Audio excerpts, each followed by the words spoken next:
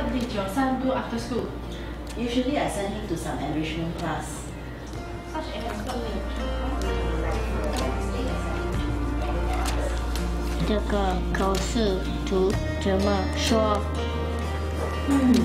How should I express this in Chinese, Wendy? Yeah, I used to have difficulty in coaching my kids Chinese too, but now I found a good way. Let me show you. This is called eTutor Star Learning Pen, developed by 知识报社. It is Singapore's first MOE syllabus-based learning pen, specially catered for Singapore preschool to primary level Chinese learning needs. eTutor Star can be used with 知识报社 magazine and eTutor Star audiobooks. It helps children to learn Chinese independently, very helpful for parents as well. Wow, this pen is so amazing. Of course, Hmm, I think I should get one too.